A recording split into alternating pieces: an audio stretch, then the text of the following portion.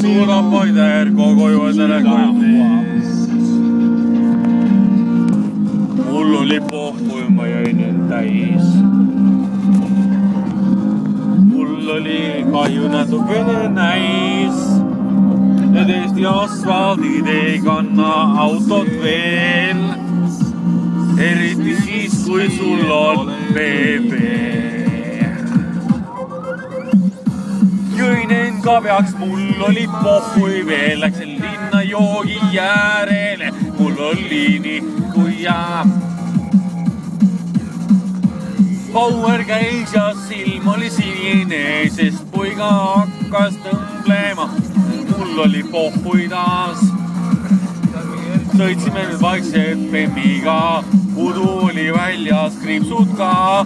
ma ei tahtnud tegelikult üldse kakelda. Läksel näitsa näklesime, lihtsalt oli väljas väga pime, ta ei näinud ka, et mul silm oli siniline. Läksin poodi, ostsin jooki. ja väikse koogiga tahtsin minna sinna poodi ma veel taas mind välja sealt ja silm oli sinine. no mida vittu, mida kitud sa, ma olen mingi nituta, mida sa nikutas?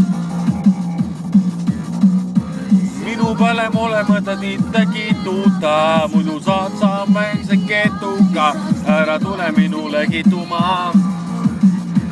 Ära minu ees sa liputa, ära minu ees sa nikuta, mine perse väikene pärdias. ole minu väikene. ei, Kai ei peitnud taas.